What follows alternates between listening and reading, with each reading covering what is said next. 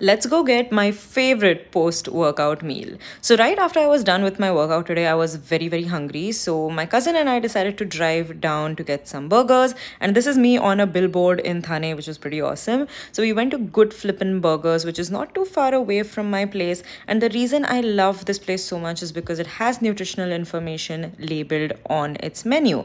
So, I always go for the Grilla, which is amazing. For 500 calories, you get 30 grams of protein, and it tastes absolutely phenomenal.